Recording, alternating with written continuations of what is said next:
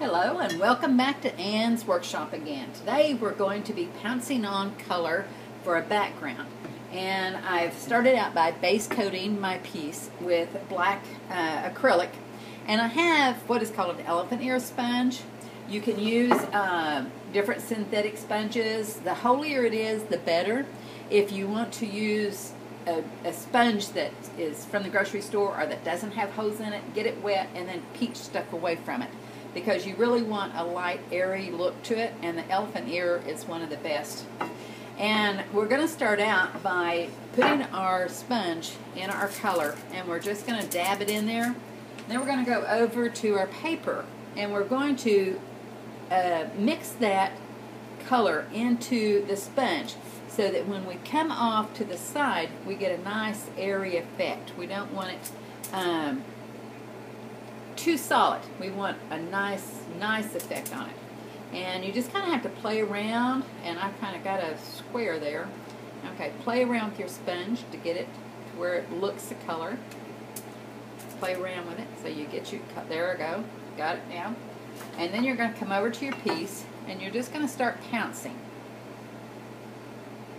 And it's going to lay some color down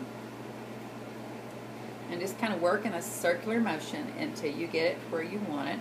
This is a technique that's used on the KZ0108 Eagles in Flight base. And if you're doing it on something that has a design and you get pouncing on the design, all you do is come back and rebase coat it. So after we get our first color on, and we're going to remember we're going to work with three, and the black can count as one if you wanted to. Then I've got, first I started with Intense Blue. This is Little Boy Blue.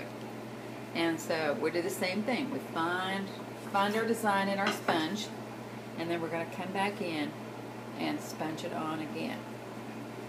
And we're not going to do it as heavy. We're going to do it lighter and airier.